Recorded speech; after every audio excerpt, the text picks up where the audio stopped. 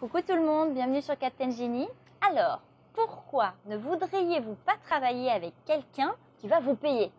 Eh ben, Je peux vous dire qu'il y a une multitude de bonnes raisons. Il y a ceux qui sont difficiles, il y a ceux qui comprennent rien, il y a ceux qui bah, sont de très mauvais payeurs, il y a ceux qui prennent un temps monstrueux pour se décider, il y a ceux euh, qui sont tout simplement pas du tout alignés avec votre façon de travailler, dans tous les cas, c'est des gens qui vous prennent bien trop de temps et bien trop d'énergie pour que vous ayez envie de continuer l'aventure avec eux. Et même parfois, ça va un peu loin. On est irrité dès qu'on voit un, message ou un email de cette personne, on en rêve la nuit. Enfin bon, on peut avoir parfois euh, des émotions euh, extrêmement négatives et extrêmement fortes. Et donc, quelle que soit la raison, eh bien, parfois, il vaut mieux se séparer d'un client comme celui-ci de dire non pour votre santé mentale et pour l'avenir de votre entreprise. On regarde comment on fait Allez, c'est parti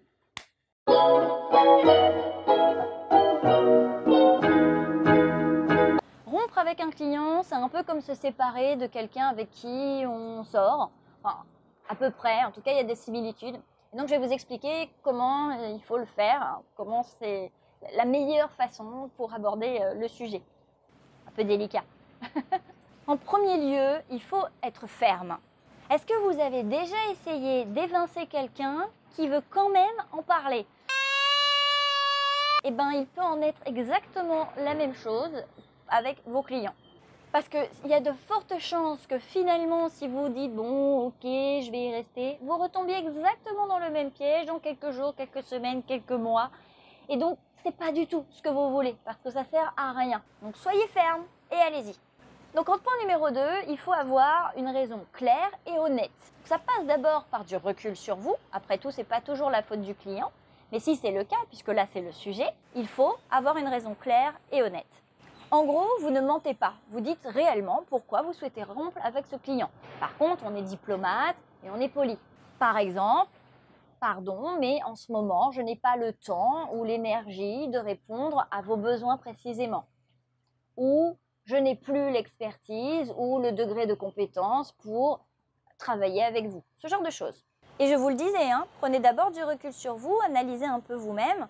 Bon, de toute façon, a priori, c'est vos tripes qui vont parler en premier lieu. Donc, suivez ça, et là, vous saurez vraiment qu'est-ce qu'il en est avec ce client.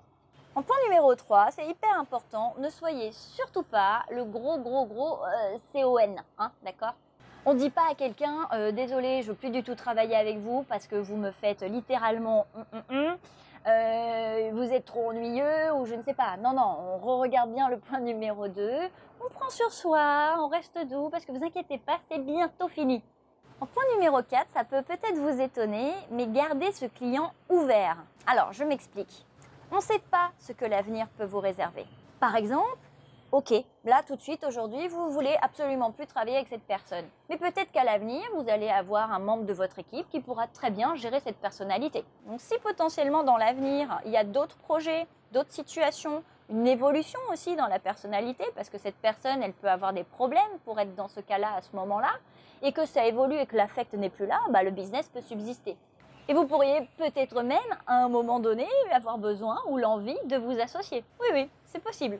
Donc c'est pour ça qu'il vaut mieux rester euh, professionnel et puis euh, dire bon bah écoutez, on reste quand même connecté sur LinkedIn, Instagram, enfin la plateforme que vous voulez et on verra peut-être qu'à l'avenir des projets nous nous ferons euh, retravailler ensemble et avec plaisir.